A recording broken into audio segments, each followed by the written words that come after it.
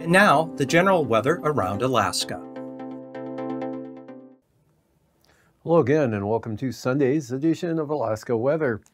Up first, uh, hazardous fire weather, fire danger, should say, uh, for grass. Not too bad in the medium here category across much of the central interior, down into the northern Kuskokwim Valley. And also quite an area up here over the north slope and all the way out to the Arctic coast there. And northern panhandle out to the central coast, about the same. Some areas of uh, moderate uh, fire danger for grass.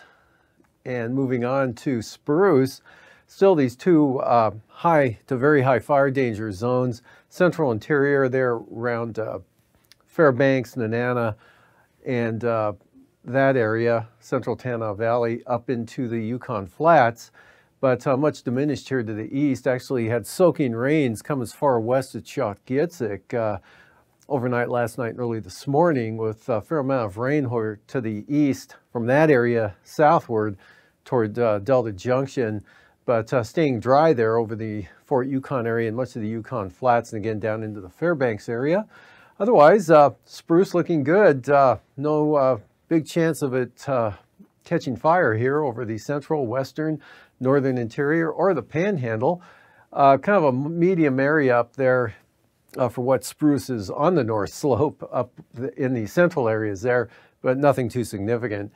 And for satellite imagery today, uh, break-in conditions here, weak high pressure over the western interior, and uh, enough of a high that that's holding this moisture back that's edging toward the coastline with a uh, cold front back through this area extends all the way down toward the eastern Aleutians, spurring some rain into the Pribilof Islands and southward to the uh, eastern Aleutians. Sunshine breaking out over the Copper River Basin and low clouds, fog, light rain ending for the most part, but showers build up after the sunshine over south central Alaska today. See this uh, band here, and then that just really kind of fades away and we're looking at uh, showers developing over the Chugach Mountains. Alaska Range this afternoon, scattered thunderstorms over the eastern interior become more widespread as you head toward the eastern border there. Quite a concentration of uh, lightning strikes here over the Yukon Northwest Territories. And uh, southeast coast, not too bad. Some sunshine over the northern panhandle with uh, more clouds and some, at least a few showers around the southern areas there. But not too bad of a day, especially in the north. And on the chart today, here's this weak area high pressure, uh, strong enough though to produce some areas of sunshine from the uh, north slope there across the western interior on down toward Kodiak Island.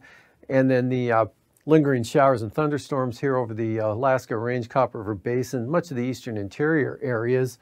And again, more widespread there over the Yukon.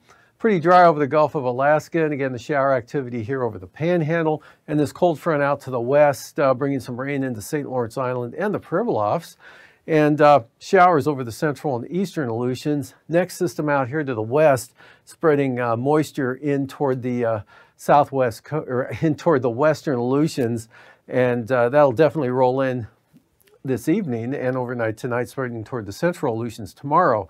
Up uh, next here, we'll show the thunderstorm uh, outlook for today. And again, that matched up pretty well with what's being observed now, the greatest threat here over the eastern interior.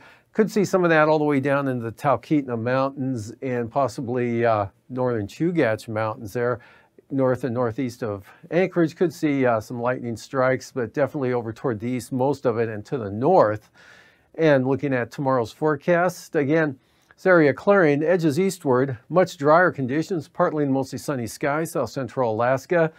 Uh, or I'm sorry, for tonight, not tomorrow, tonight, uh, drying out with the showers ending but lingering here over the uh, oh 40 mile country there, but uh, staying south of Eagle, maybe some clearing there, chance of showers up over the eastern north slope, stays dry over the central areas, and a chance of rain right along the west coast here due to this front out over the uh, Bering Strait, trying to edge eastward that low over the Russian Far East, and that tracking slowly eastward, but not moving a whole lot, and actually won't make much eastward progress here due to this upper level wind flow coming across the northern Bering Sea, a split in the wind flow carrying, kind of stretching this front out, dragging moisture southward and the uh, stronger portion off to the northeast. This system here a little bit uh, more organized and a little bit stronger winds and a little more uh, defined area of precipitation. Could be some moderate rain with that over the western Aleutians.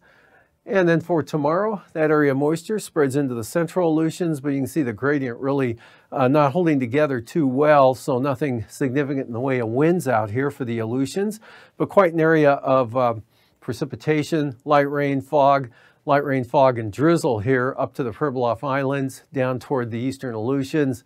Remnants of this front keeping some uh, cloud, or keeping a lot of clouds fog and drizzle or light rain here over the northern Bering Sea up through the Bering Strait. Look for periods of light rain over the western Seward Peninsula ahead of this front and probably continue to see those winds possibly gusting up to 25 to 35 miles an hour here Kivalina, Point Hope, Cape Lisburne as that front approaches, but lighter winds through the Bering Strait tomorrow, where they gust as high as about 40 miles an hour this afternoon at Tin City from the south.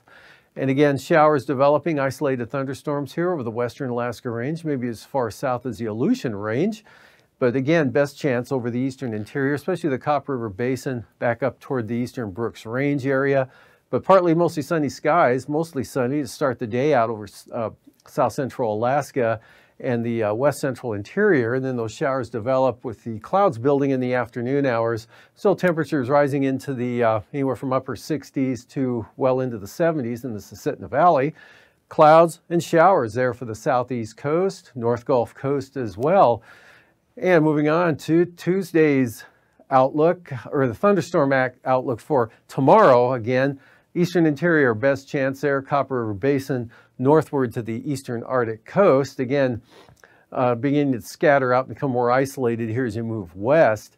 And nothing expected out to the central and western interior due to high pressure here, holding over the interior areas. Chance of some moisture, Brooks Range North Slope, mostly in the form of shower activity there, maybe low clouds, fog, and drizzle along the Arctic coast. But the uh, densest fog staying off the coast there, it looks like possibly, but light wind conditions that could uh, develop and move right to the coastline anywhere during the day uh, tomorrow. And again, a weak trough keeps it showery and unsettled over the southeast coast, even in the northern areas now, a little bit more in the way of clouds and showers tomorrow, but not too bad, not a washout by any means. And then this uh, front kind of uh, re intensifying a little bit here with a gradient developing south to north flow, maybe gusts 30, 35 miles an hour with this feature out over the central Bering Sea, mostly to the west of the Pribilof Islands. Stays wet over all of the Aleutians with widespread IFR covering much of the Bering Sea. Light winds, mostly sunny skies here over the southwest part of the state, allowing temperatures to edge upward and stays in the uh, 70s to uh, mid 80s with the warmest temperatures over the eastern upper Yukon Valley over toward Eagle, down toward Tok with afternoon showers and thunderstorms over the mountainous terrain of the southeast interior and the Alaska Range. And for lows tonight in the 50s here over the interior, just about everywhere. And same thing for the panhandle, a little warmer, more in the mid to upper 50s there for the overnight lows. Highs tomorrow, 60s to near 70, mostly in the 60s though for the southeast coast. North Gulf Coast as well, and uh, near 80 around uh, the Copper River Basin, otherwise 60s and 70s, 75 to, uh, or 72, maybe mid to upper 70s here in the Susitna Valley, and 65 to 75 for the Kenai Peninsula, mid 70s Kuskokwim Valley, mid 60s Kodiak Island, in the 70s for Bristol Bay. Followed by lows again, mostly in the 50s everywhere. King Salmon, though, could drop to 48 degrees. That'd be the exception and 50s for the southeast coast, followed by highs again, 60s, 65 to 70, warmest in the north for the panhandle, around uh, Haines, Skagway possibly. Lower 80s in the Copper River Basin, 70 to 75, 6, 7, 8, maybe 79 over the Susitna Valley. 75 to 80 west of the Alaska Range in the Kuskokwim Valley and 70 to 75 for Bristol Bay. Not too bad for Kodiak, 66.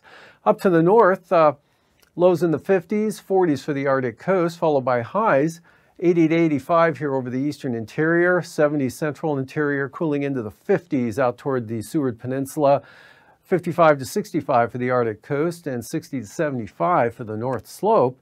And lows mostly in the 50s, some areas into the mid 40s here along the Arctic coast and the Bering Strait, followed by highs again 80 to 85 over this eastern interior. Still pretty mild here over portions of the North Slope, pushing 70 in some areas, that extending just about all the way out to the Arctic coast there. And 50s to near 60 out to the west.